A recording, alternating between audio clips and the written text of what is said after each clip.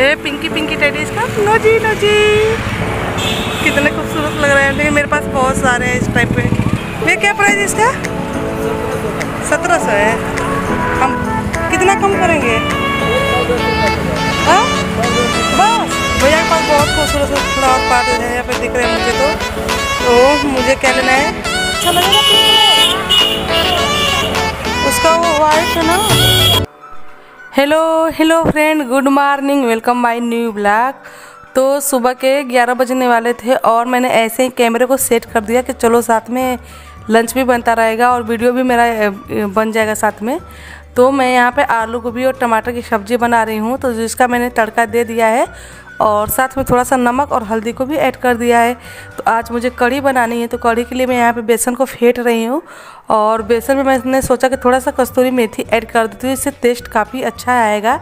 तो यहाँ पे मैंने थोड़ा सा कस्तूरी मेथी को ऐड कर दिया और उसके बाद बेसन को हम एक बार फिर से फेंट लेंगे। फेंटने के बाद अपना क्या बोलते हैं ट्राई करेंगे पानी में, क्योंकि पहले के टाइम पे हम लोग देखते रहते थे कि हमारी मम्मियाँ लोग जो है कड़ी वाली पकौड़ी बनाने के लिए बेसन को काफ़ी देर तक फेंटती थी और फिर ऐसे पानी में चेक करती थी। जब बेसन पानी में तैरने लगता था तो मतलब बेसन कड़ी वाली पकौड़ी के लिए तैयार है और अगर पानी के नीचे चला गया, तल में बैठ गया तो मतलब अभी थोड़ी देर और फेंटना पड़ेगा। तो मैंने ऐसे ही चेक किया, जब मेरा बेसन ऊपर तैरना स्टार्ट हो गया तो मैंने समझ लिया कि चलो, अब पकौड़ी के लिए जो हमारा बेसन है, वो रेडी हो गया है। फिर मैं हाथ में पानी लगाई और धीरे धीरे ऐसे पकौड़ियाँ कढ़ाई में डालना स्टार्ट कर दी। तो क्या होता है, पानी हाथ में लगाने से पकौड़ी जो है ना, वो जल्दी जल्दी सड़क निकल जाती है। और ये लंच जो है, आकृति के कहने पर आज का बन रहा है। सुबह में जितना स्कूल गई नहीं है, उससे ज़्यादा मुझको बोल के गई थी कि, मम्मी, कढ़ी चावल ही आज बनाना। तो मैंने बोला, चलो, ठीक है, दाल जो बनता है, उसकी जगह पर मैं कढ़ी ही बना लेती हूँ। तो इसलिए आज मेरी यहाँ पर कढ़ी बन रही है।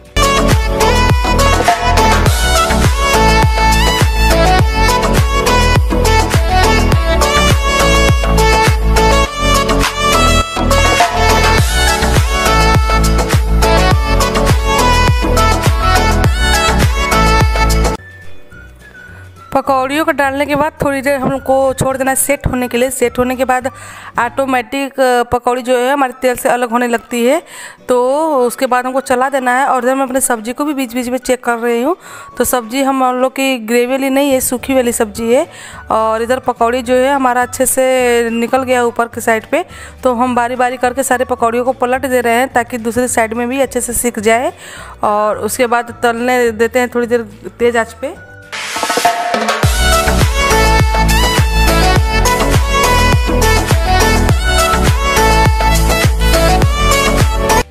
बेसन वाली कड़ी बनाने का अपना अलग अलग तरीका होता है सब लोग का और मैं जो तरीके से बनाती हूँ तो मैं सबके साथ शेयर करती हूँ और मैं कई तरीके से अपनी पकौड़ी बनाती हूँ ग्रेवी वाली और ग्रेवी भी।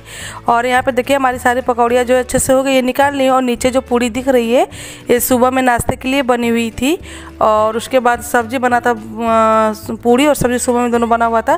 तो यहाँ पर गोभी वाली सब्ज़ी को चेक करते हैं तो यहाँ पर हमारी गोभी वाली जो सब्ज़ी है अच्छे से हो गई है और इसमें ऐड कर देंगे हम थोड़ा सा हरा धनिया हरा धनिया ऐड करने के बाद इसको अच्छे से चला देंगे, फिर गैस को कर देंगे ऑफ़।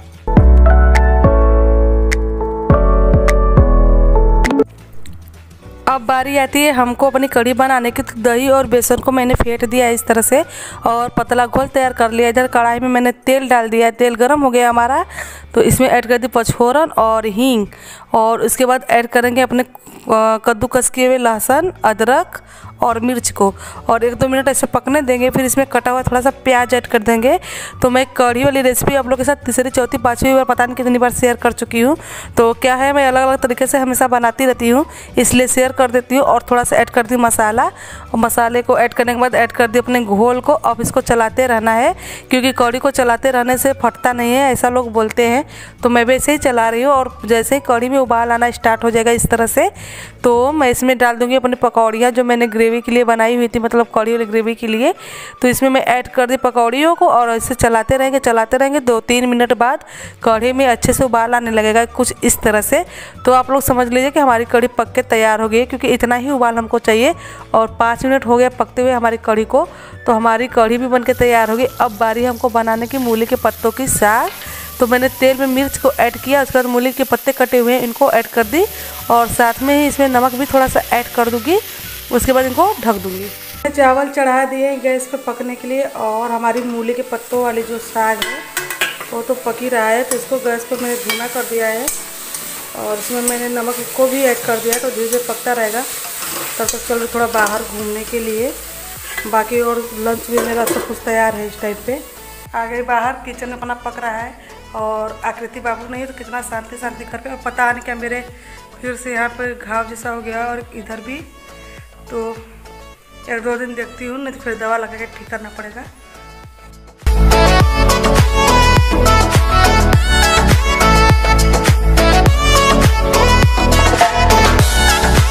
पहले तो पीछे सिर्फ़ मेरा घर था, अकेली मैं इधर के साइड में थी, लेकिन अब भैया का भी घर तैयार हो जाएगा तो हम और भैया दो लोग का परिवार हो जाएगा पीछे वाले साइड में। तो आना जाना लगा रहेगा तो काफ़ी अच्छा लगेगा। तो अभी तो मिस्त्री लोग लगे हुए हैं इस टाइम पे, बहुत जोरों शोरों से उनका काम चल रहा है। क्योंकि हमको लग रहा है कि एक महीने के अंदर पूरा फाइनल हो जाएगा अब बाबू स्कूल से आ गया थक गए हो? नहीं थके हो? ऐसे कोई बैग फेंकता है? लंच करके आए हो? आज तो बाबू नया काम कर दिया मेरा भाई लंच करके आए अरे वाह टिफ़िन तो पूरा फिनिश है भाई। गुड बॉय गुड बॉय हाँ? अच्छा। दीदी कहाँ बेटू? दीदी तो यहाँ है। खाते पीते हुए आ रही है। तुम तो बोली हो बीमार हो तुम खाते पीते आ रही हो। हाँ? ठीक हो गई? अच्छा। आकृति और बाबू दोनों लोग स्कूल से आ गए। अभी लोग का ड्रेस चेंज होगा है ना? दो दो पैकेट। खाइए?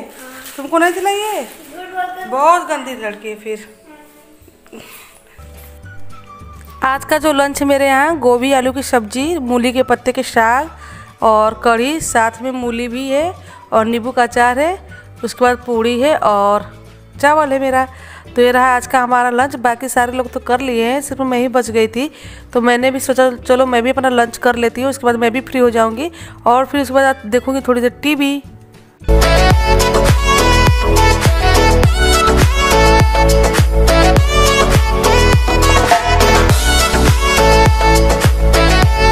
अभी रात के साढ़े सात बजने वाले हैं, शाम के मतलब और आकृति के पापा जा रहे थे गेहूँ देने के लिए तो हमसे पूछे कि क्या करने जा रही हो। तो मैं तो यहाँ पर कपड़ा प्रेस कर रही थी तो मैं बोले कि कपड़ा प्रेस करूँगी, उसके बाद बैठूँगी, क्योंकि आटा नहीं है तो बोले चावल बना दूँ। तो बोले कि नहीं, चलो गेहूँ भी दे जाते हैं, और गोलगप्पे भी खाते हैं हम लोग। तो फिर मैं गोलगप्पे का जैसे ही नाम सुनी मैंने फटाक से कपड़ा ऐसे चेंज कर लिया। तो ये वाला कुर्ती जो मेरा है इसको भी मैंने बाहर से लिया था जब बाहर बेचने वाला आया था उस टाइप तो ब्लैक कलर का है। अगर तो चलो चला जाए। तो हम लोग चलते हैं बाहर और गोलगप्पे खा के फिर घर आते हैं। यार। टैडी चाहिए। इन, इनको टैडी चाहिए। अभी हम लोग यहाँ पे इसलिए रुके हैं कि हम लोग को अच्छे अच्छे फ्लावर पार्ट और फ्लावर दिखे हैं और साथ में कंबल भी तो ठंडी के लिए कंबल इस बार हम लोग को लेना था। तो हम लोग आए देखते हैं अगर पसंद आएगा तो लेके गोलगप्पे खा के घर चलेंगे और आटा के लिए गेहूँ दे दिया गया है और आटा ले लिया गया सुबह टिफ़िन के लिए और इनको टैडी चाहिए आइसक्रीम? मरना है तो ठंडी में आइसक्रीम खा के।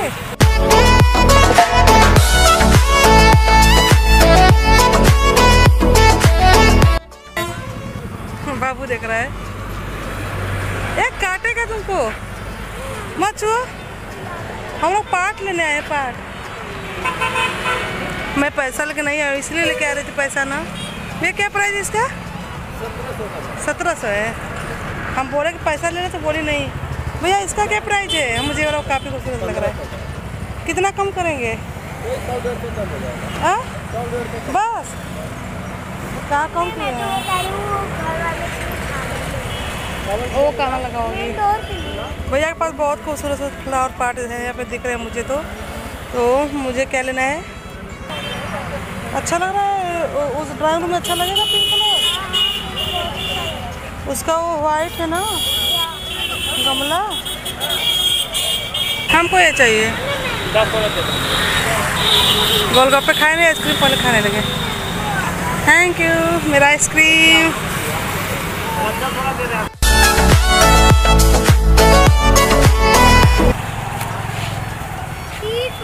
मैं ले ली। लोग ले रहे हैं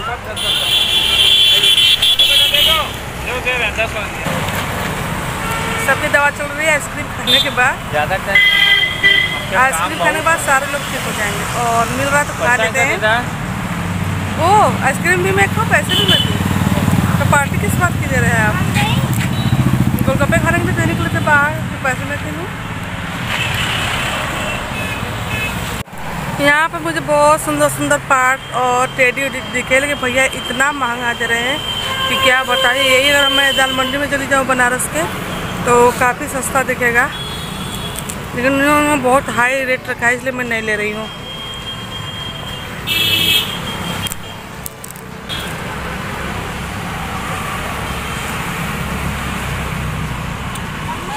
हाँ? जान दो। मैं खड़ी होकर खा रही हूँ, बाकी मेरी पूरी फैमिली लाइन लगा के जैसे लग रहा है पाँच बैठा हुआ है खाने के लिए, शादी वाली। और जहाँ पर मैं खड़ी काफ़ी अच्छा जगह है, सुकून है।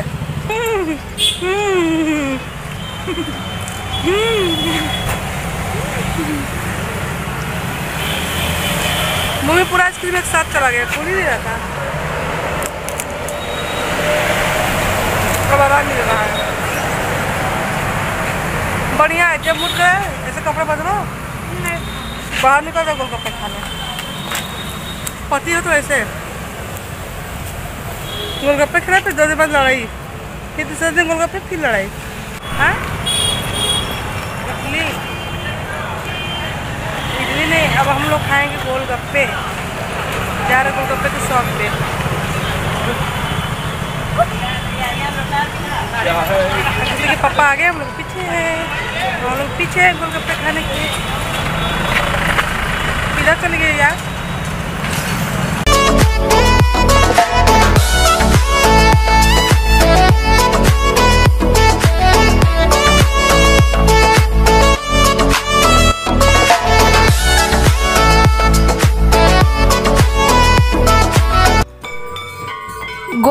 खाने के बाद जैसे ही हम लोग घर के लिए निकले, देखे महावीर, बालाजी महाराज के आरती हो रही है तो हम लोगों ने सोचा चलो इतनी दूर आए हैं तो आरती हो रही थी, आरती में भी सम्मिलित हो लेते हैं, और आरती होने के बाद हम लोग निकल जाएँगे घर के लिए तो यहाँ पर आरती स्टार्ट हो गया है, और सारे लोग लाइन से आरती में लगे हुए हैं, हम भी आरती में साथ में लगे हुए हैं, बाकी कैमरा इधर उधर बाकी घुमा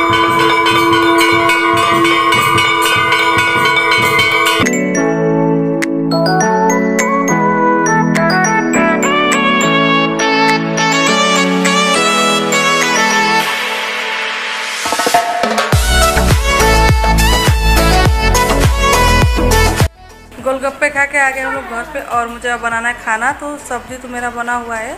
सिर्फ़ मुझे रोटी बनानी है तो जो आटा आया है उसको गूथा जाएगा और फिर रोटियाँ बनेंगी। तो चलो भी मैं रोटियाँ बनाने फिर मिलती हूँ आप लोग हाँ। और मेरा डिनर बन गया। हाँ? कहाँ? कॉल किया? और के पापा कर रहे हैं डिनर। बाकी मैं बैठी हूँ उनको खिलाने के लिए। बाबू भी वॉशरूम गया, आएगा तो हम बाबू साथ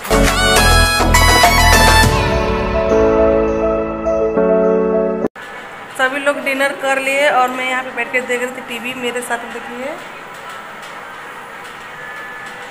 बाबू और आकृति भी है तो आज सबके तेल सर पे होगा मसाज तेल से।